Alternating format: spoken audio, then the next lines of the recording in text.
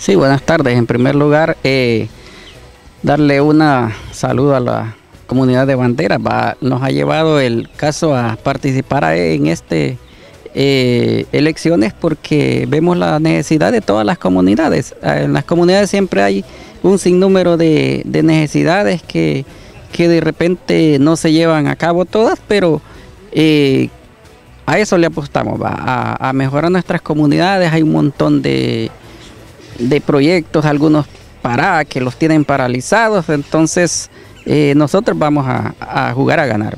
Cuando hablamos de proyectos paralizados, ¿a qué nos referimos puntualmente? Bueno, eh, creo que tenemos algunos como un parque, eh, hablábamos la vez pasada del embaulado de las calles, pero vamos a ver si conseguimos también alguna pavimentación, ya que se nos están dando aquí cerca de, de los laureles, ya tenemos una, vamos a ver si la si ellos la quieren continuar y para eso nosotros estamos eh, alzándonos en esta planilla. ¿Cuál es su pensar de la actual presidenta de Patronato, doña Angélica Flores? ¿Su pensar? Bueno, eh, es una excelente persona, eh, una buena directiva.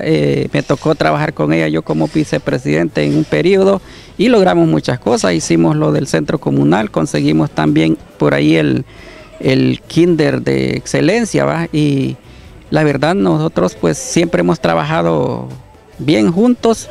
Solamente hoy me quedé fuera, pues, eh, pero hoy tomé la decisión de agarrar eh, una planilla, pues. ¿Nos da los nombres de algunos de los cargos que llevan su planilla? Bueno, vamos a, verlos acá en mi, en mi teléfono móvil porque la verdad es que tenemos aquí que su servidor va como presidente, ¿va? Eh, don José Isaac Mía, vicepresidente.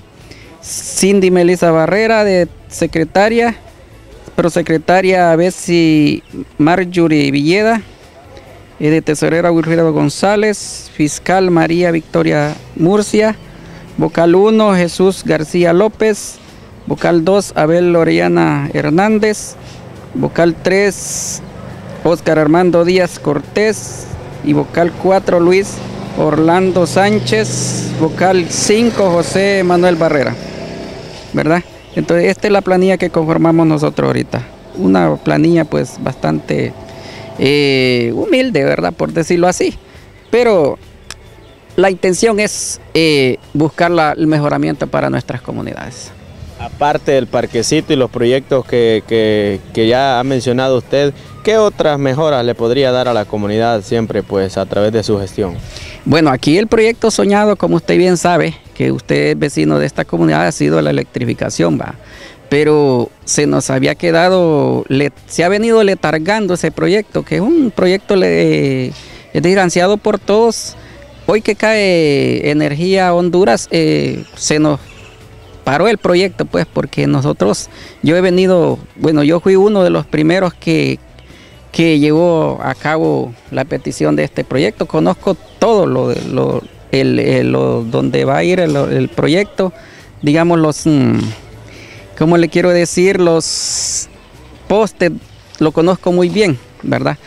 Pero no sé qué al fin, qué pasó. El alcalde dijo que nos iba a ayudar, iba a retomar esa cuestión de la luz y ahí es donde nosotros estamos viendo de que de repente se necesita más gestión.